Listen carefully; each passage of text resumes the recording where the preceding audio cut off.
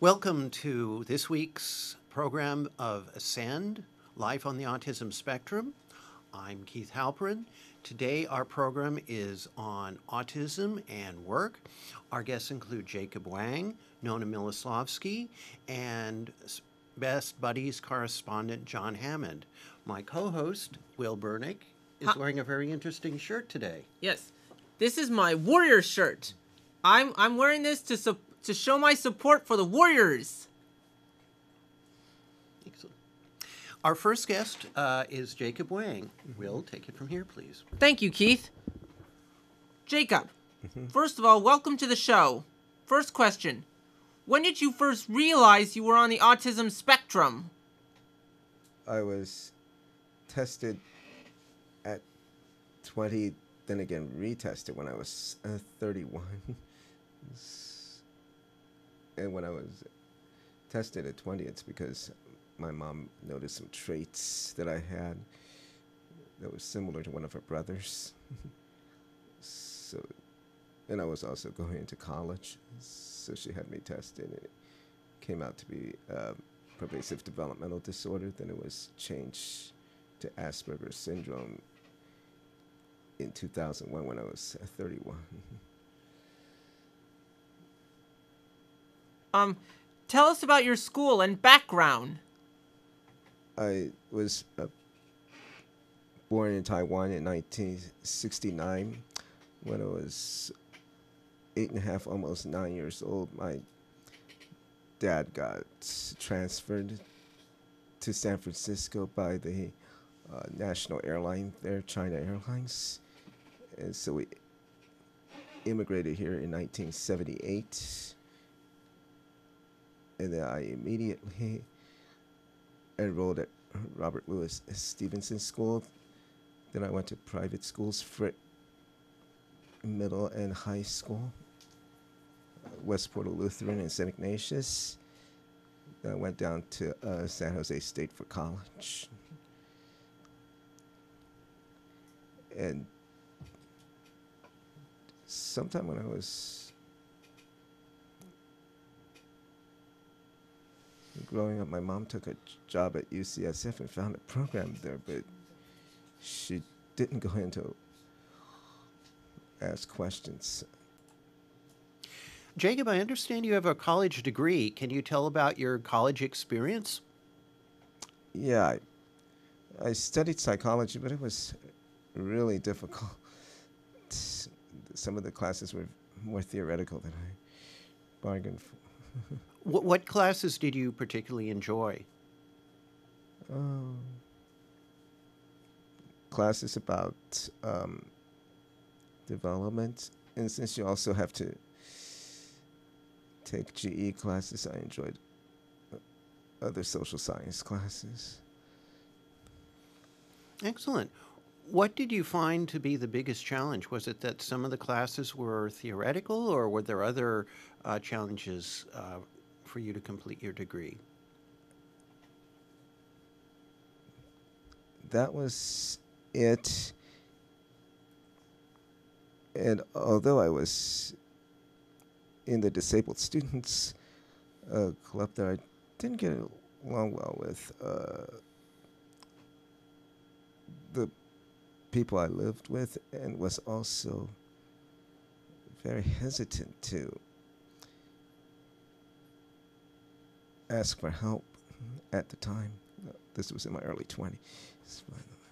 Yeah, I can understand. Uh, If it's not too personal, uh, Jacob, why is was it hard for you to ask for help?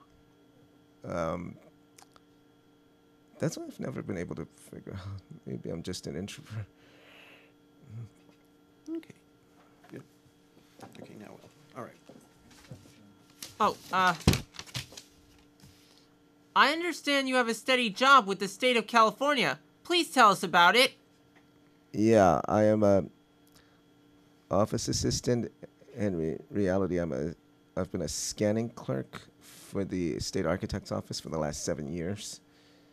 I scan uh, architectural drawings and specification reports, and I'm supposed to turn that they recently changed the policy so that we're now supposed to turn that into a PDF file. and then upload it into our internal database. Hmm. Can you tell us how you uh, got your job? I know uh, employment uh, for our community is a major issue, and so anything you could tell us about how you were able to uh, get your very stable and successful job would be a great help. Um, vocational rehab uh, recommended me to a, a program called Rehab Services of Northern California, and then they found the job for me. Excellent. What What do you like about your job, and wh- what do you find as big challenges? I like that there's a routine. A big challenge. Short term, it's just the now that I work full time, I have to get up earlier because the job is in downtown Oakland, and also um, that recently we've had new procedures, so it was kind of difficult getting used to. that. I can understand that.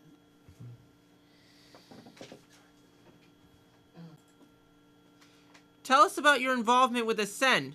What are some of your plans for the future? right now I'm the um, recording secretary on the board meetings.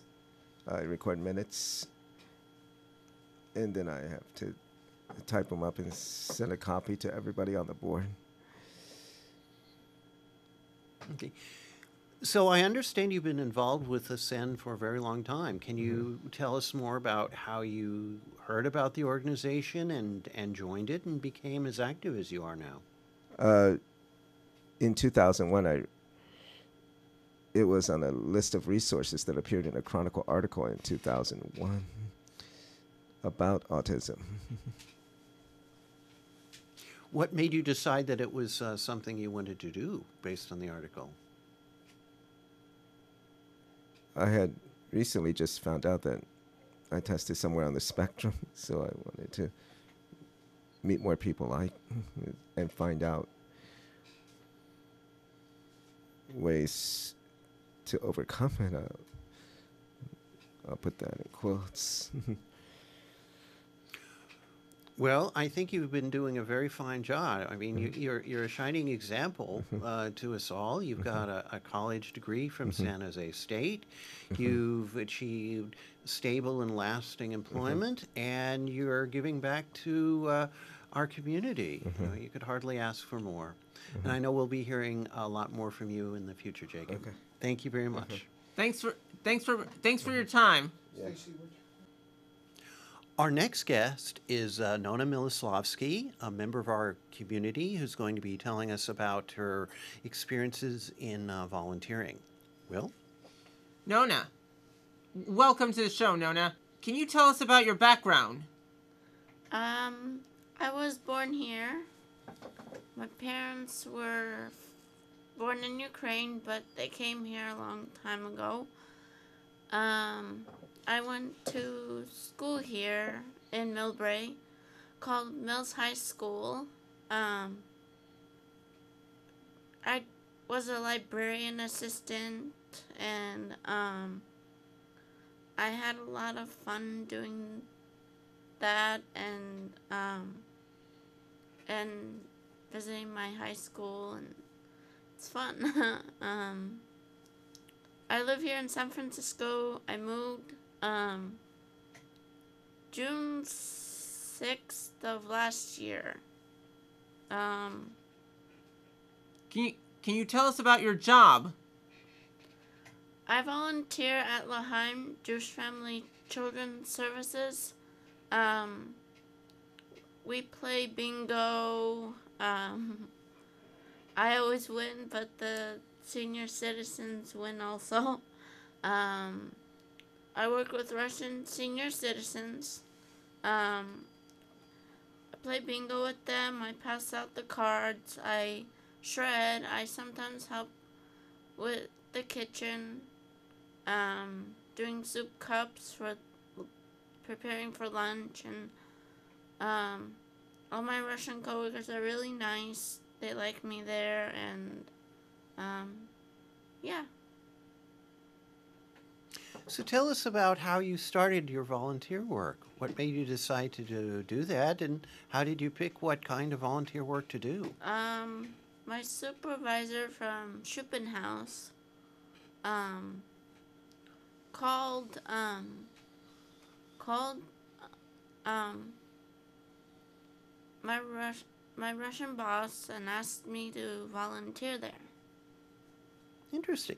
I'm not familiar with Schopenhaus. Could you tell us about that for our, our listeners? Independent living facility, and um, we go on bus routing and doing a lot of different stuff together, and um,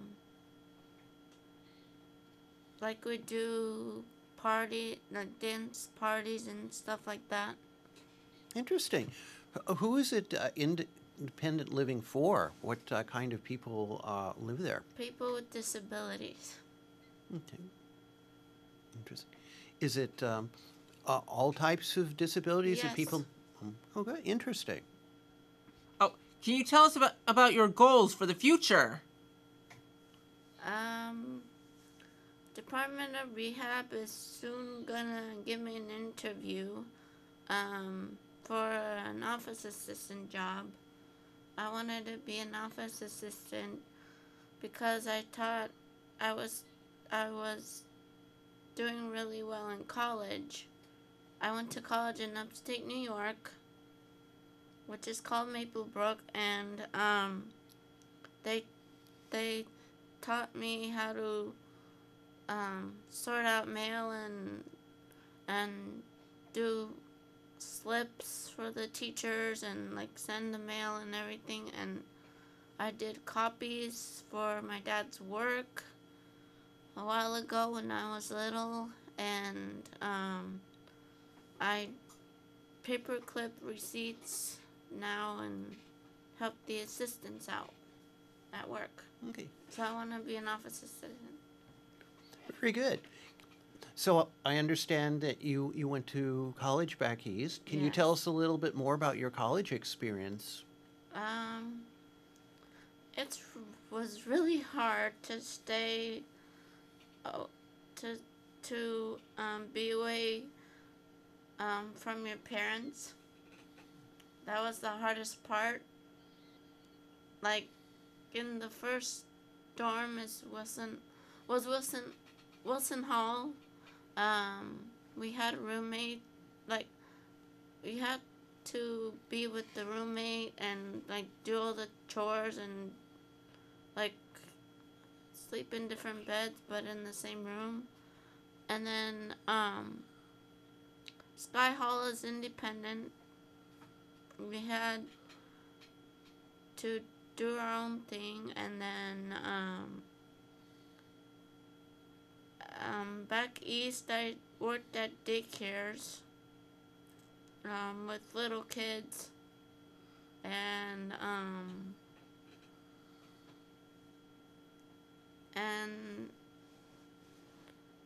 I had to put the toys away and everything, and I um, had lunch with them and stuff, and it was really nice. They miss me now because I already graduated. But I call every once in a while to see how they're doing, and yeah. Really good. So it sounds like you, you like working both with uh, children and with seniors. Do you have a preference which you like to work with more? Uh, seniors, because kids are like nuts. they like, okay, play with me, play with me. Like they, they want to play with me. Really good. So, um, are y- it sounds like uh, you do a lot of volunteer work. Um, yes. Are you active in the Russian community in other ways? in um, the Ukrainian community here? Um, not yet. I could, but I don't know when. um, just Laheim, that's it. Well, it sounds like you are a very, very uh, busy and active person. And Yeah. again, uh, an example to us all. Uh, you went to college and you're actively out there in the community, Yes, uh, volunteering and uh, working toward uh, getting uh, actual employment. Yes. Um, so, From Department of Rehab, I'm hoping they will call back my mom because they they did not yet, and I'm still waiting. So yeah, well, from what I've heard, you got to keep after them. yes, Yes, that's one of the things we learned yeah, I know I'm keeping after them, but I'm still waiting. Well, um, keep after them, and uh, we'll go ahead there. Mm-hmm. Again, thank you very much for your time. I know we'll be hearing a lot more from Thank you too. Nice Nona. to meet everybody. Likewise. Well, Um, thanks for being here today, Nono. We we hope to see you again soon. Thank you. and now a new segment to our program. We're going to be having a bi-weekly uh, portion where we will be speaking with our correspondent from Best Buddies to talk about current and upcoming activities. Our correspondent, John Hammond, will now be addressed by Will. Thank you, Keith. John, can you tell us about some of the recent activities of Best Buddies? So Monday we went to a warrior practice facility with Best Buddies, and we did a warrior a warriors clinic. So then Wednesday, last this past Wednesday, me and Will went, went to the Warriors game with Best Buddies, and we got to go watch the, the shoot around before the game. And then last Thursday Will, was Will's speech. Will, do you want to talk about your speech? I sure do. Last last one last Wednesday, I gave a gave a speech about the R word in front front of the USF student body. I uh, some of the audience were also our clients and Best Buddies members too. They they were all there to watch to watch my speech. I gave it with fellow art clients Gabby and Clifford. Oh, and John's own, John's friend and fellow Best Buddies member Sarah Hoffman. For those of us uh, who didn't hear your speech, Will, could you tell us a little bit more about what you said, you know, relating to the R word and so on? I talked about how it affects affects students, how it's used in schools and everyday life, and how there's a camp there is a campaign to stop the R word, to to get rid of it. About the about the action that school that my school that my that some schools have taken, including my own former school, Cal State East Bay. I think that's really an important thing that you and Best Buddies are doing, Will. For those of us who don't know, what should we now say? What is the best Can way of referring to people uh, in that state? Instead of using the R word, which we know we should no longer do. Um, so what we can no longer do is you can go to endrword.org and sign the pledge. And it's it's a term physically disa- disabled now. Is what it is, and um, and it was passed by the- the California state government last year. Because I had to go to City Hall, I went to um, Sacramento about it, and the health committee passed it on the Ju- Governor Jerry Brown, and he signed it in the state California state law, and nobody can use the R word in California. It's very good to hear. Can you tell us about uh, upcoming Best Buddies activities, John? Yes, I can. We had the Friendship Walk on April the 18th, which is a 5K walk in Crissy Field, which Will's going to do. Very good to hear that, Will.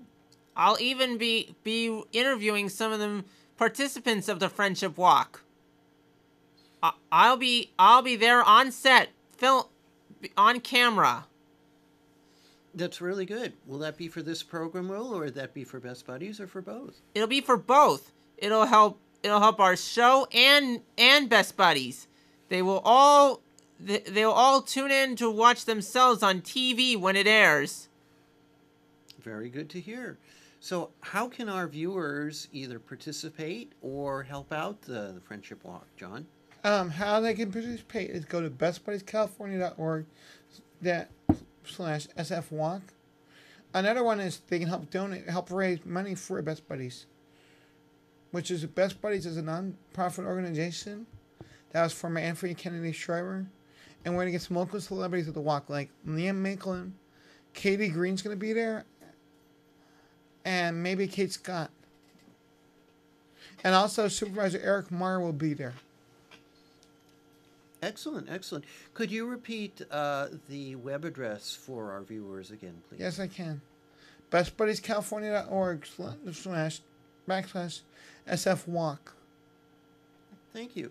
Any additional questions you'd like to ask uh, John Will?